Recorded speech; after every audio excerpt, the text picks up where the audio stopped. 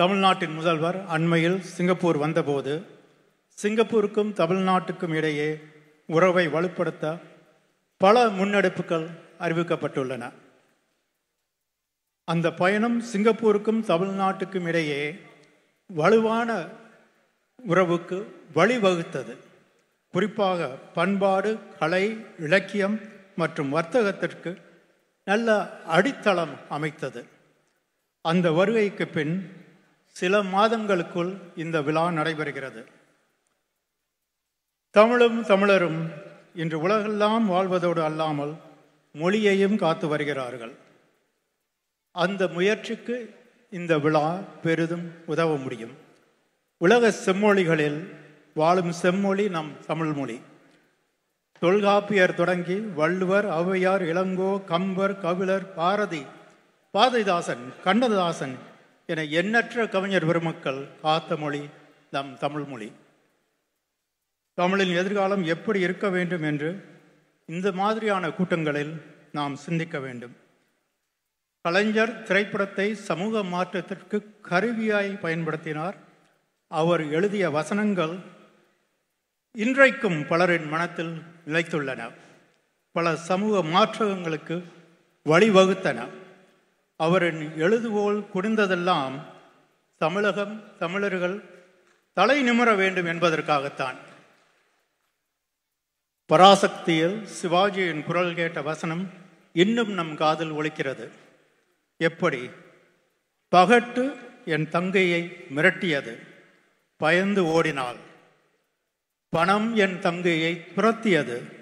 மீண்டும் ஓடினாள். பக்தி என் தங்கையை பயமுறுத்தியது. ஓடினால் ஓடினால் வாழ்க்கையின் ஓரத்திற்கே ஓடினால். அவர் மாதிரி பேச முடியுமா? அவர் மாதிரி எழுதவும் முடியுமா?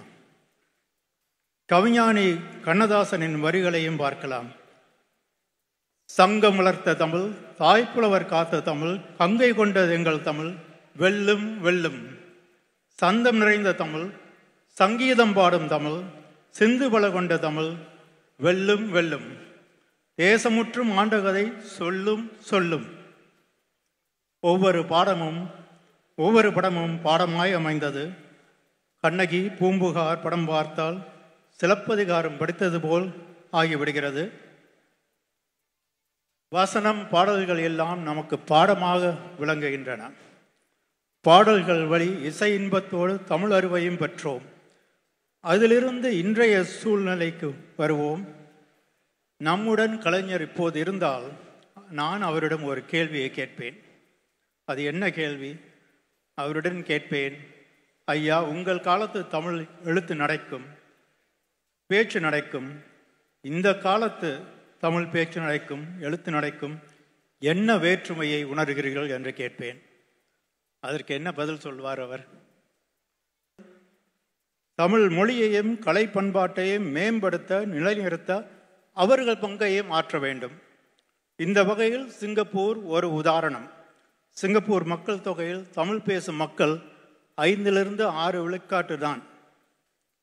எனினும் தமிழ் ஓரளவு நல்ல நிலையில் இருக்கிறது சிங்கப்பூரில். சிங்கப்பூர் அரசு நான்கு அரசு மொழிகளில் ஒன்றாக தமிழை வைத்திருக்கிறது. தமிழ் மாணவர்களுக்கு பள்ளிகளில் தாய்மொழி அதாவது தமிழ் கட்டாய பாடமாக இருக்கிறது. சிங்கப்பூரில் வளர்ந்த தமிழ் இயக்கம் என்ற இயக்கத்தால் தமிழ் மொழி விழாக்கள் அரசின் ஆதரவோடு கொண்டாடப்படுகின்றது. ஒவ்வொரு சித்திரை மாதம் முழுதும் இந்திய கலைஞர்களை வரவேற்று இந்திய கலைப்பண்பாட்டை வளர்க்கவும் இது உதவுகிறது.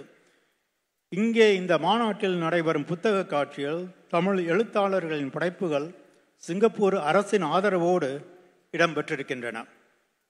சிங்கப்பூரில் வானொலியில் தொலைக்காட்சியில் பள்ளியில் கல்லூரியில் பல்கலைக்கழகத்தில் நீதிமன்றத்தில் நாடாளுமன்றத்தில் விமானத்தில் விமான நிலையத்தில் செய்தித்தாளில் திங்களிதழில் திங்களிதழில் தமிழை காண்கிறோம். சிங்கப்பூர் அரசின் ஆதரவு இல்லை என்றால் தமிழ் கட்டாய பாடமாக இல்லை என்றால் சிங்கப்பூரில் தமிழின் நிலைமை வேறாக இருக்கும். சிங்கப்பூரை போல மற்ற நாடுகளும் தமிழை போற்ற வேண்டும் வளர்க்க வேண்டும். தமிழின் தனி தன்மையை பேணி தொன்மையை நிலைநாட்டி நம்மோடு தமிழையும் கொண்டு செல்லும் பொறுப்பு நம் அனைவருக்கும் இருக்கிறது என்பதை நினைவில் கொள்வோம். தமிழ் வெல்லும் என்ற உங்கள் முழக்க வரிக்கு ஏற்ப தமிழ்தான் தமிழரின் முகவரி என்பதை மனத்தில் நிறுத்தி பெருமை சேர்ப்போம். நன்றி வணக்கம்.